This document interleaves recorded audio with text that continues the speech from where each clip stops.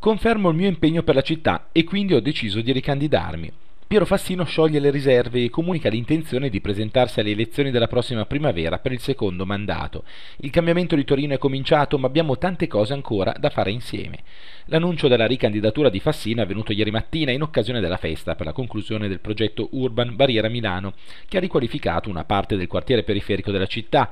Erano presenti tra gli altri gli assessori comunali Gian Guido Passoni e Ilda Curti, la presidente della circoscrizione 6 Nadia Conticelli, il presidente del Consiglio Comunale Giovanni Giovanni Porcino e il leader dei moderati, l'onorevole Mimmo Portas.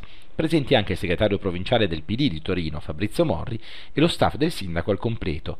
Questo è un luogo simbolo della trasformazione della città, ha detto il primo cittadino, commentando il recupero dei 65.000 metri quadrati dell'ex Incet, fino a qualche anno fa fabbrica di tubi, ed oggi nuovo centro nel quale saranno collocate attività di ricerca e innovazione.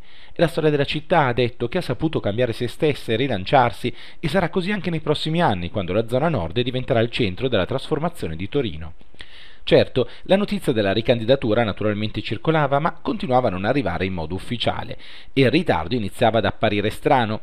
Abbiamo una lunga campagna elettorale davanti, ha detto Fassino, e l'annuncio anticipato della mia ricandidatura avrebbe nuociuto all'attività amministrativa. Ai cittadini chiediamo il voto per continuare a farlo. Abbiamo retto alla crisi, abbiamo sfidato creando nuove occasioni di crescita. Questi sono stati anni in cui lo sviluppo della città ha conosciuto il rilancio.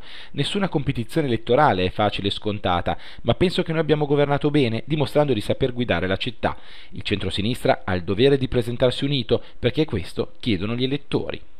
L'annuncio della ricandidatura a sindaco di Fassino da un'ex fabbrica in barriera di Milano rappresenta tutta l'ipocrisia di cinque anni di governo cittadino, ha invece commentato Fabrizio Ricca, capogruppo della Lega Nord in Consiglio Comunale. Non lo si vede nelle periferie di Torino dalla campagna elettorale del 2011 e ci ritorna per cominciarne un'altra. Rivederlo solo per fare altre promesse, tagliare nasta e prendere in giro i cittadini ancora una volta ci riempie di amarezza, dicono dal Carroccio, perché se davvero voleva fare qualcosa doveva farlo subito. Per questo il nostro impegno triplicherà da qui alle elezioni, così da poter pensionare lui ed evitare che un altro partito di sinistra come il Movimento 5 Stelle possa mettere le mani sulla capitale sabauda. Ed è arrivato un commento anche dai pentastellati. Sono contenta che il sindaco Fassino abbia finalmente rotto gli indugi. Adesso potremo confrontarci sui programmi e bisogni della Torino che vogliamo costruire, dice sui social Chiara Appendino, candidata sindaco del Movimento 5 Stelle.